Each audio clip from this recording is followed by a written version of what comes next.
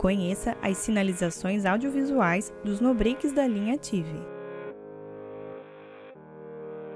Neste vídeo, falaremos sobre as principais sinalizações audiovisuais que ocorrem nos no-breaks da linha TIV quando estão em modo rede ou bateria. Para começar, vamos falar sobre as sinalizações que acontecem em modo rede. Sobrecarga. O no-break sinaliza sobrecarga em modo rede quando a potência suportada pelo equipamento é excedida.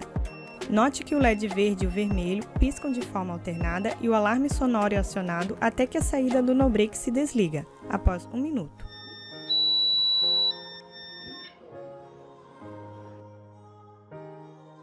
Falha crítica. A falha crítica pode acontecer nas seguintes situações. A primeira delas é quando há um curto-circuito na saída do no-break e a sua saída é desligada imediatamente. Isso acontece quando há uma falha ou um curto-circuito no produto conectado ao no-break. A segunda, a falha crítica acontece quando o usuário conectou o no-break a uma rede elétrica diferente da tensão especificada no manual. Por exemplo, conectou um no-break com tensão de 110 volts em uma rede elétrica de 220 volts. Neste caso, o no-break deve ser desconectado da rede elétrica imediatamente. Nessas duas situações, o LED vermelho fica aceso e o alarme sonoro soa de forma contínua.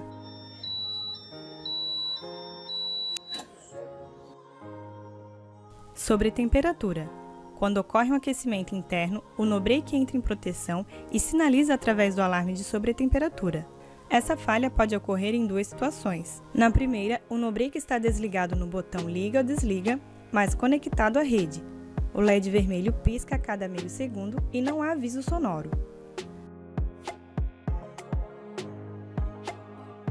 Na segunda situação, o LED vermelho pisca e o aviso sonoro é emitido a cada 0,25 segundos, até que a saída do no-break se desliga.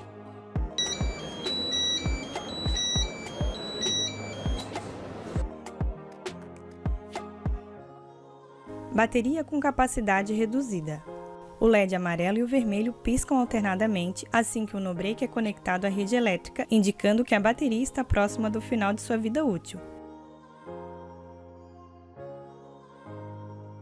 Agora vamos ver algumas sinalizações que acontecem em modo bateria. Fim de autonomia. Quando a bateria se aproxima do fim da autonomia, ela já não tem mais carga suficiente para manter os produtos conectados ao no-break energizados.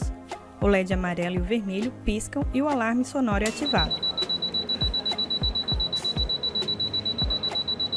Essa condição é executada durante 5 segundos e logo após o no-break é desligado.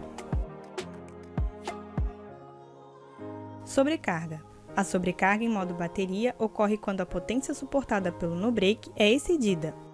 O LED amarelo e o vermelho piscam de forma alternada e o alarme sonoro é acionado até que a saída do no-break se desliga, após um minuto.